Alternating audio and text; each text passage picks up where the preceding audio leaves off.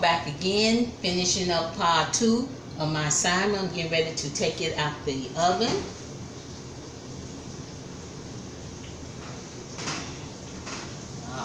It looks good.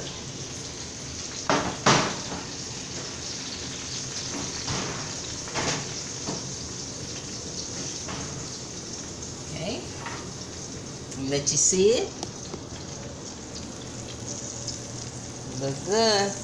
And what I'm gonna do, I'm gonna put a little, let's see, my spoon. We'll put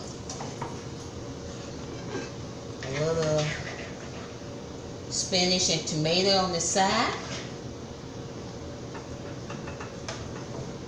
And my bread. And a little of my fish. I'm gonna cut up, put it right there. Just put the whole fish right there. And a little bit potatoes on the side.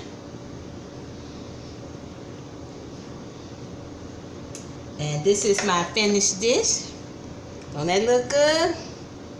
This is salmon cut up baked potato, bread, and sauteed tomato and onions and uh, spinach.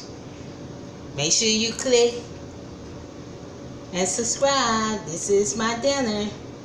Bye. See you later.